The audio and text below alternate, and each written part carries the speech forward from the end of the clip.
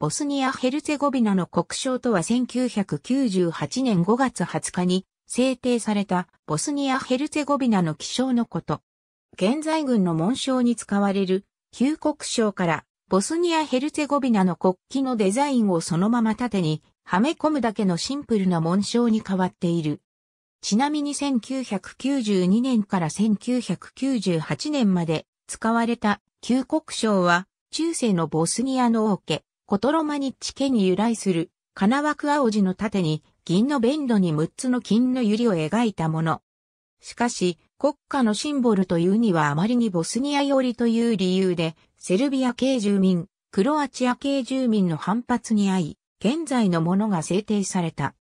現在の紋章も公務員のユニフォームなどに見られるものの、国内ではほとんど使われていない。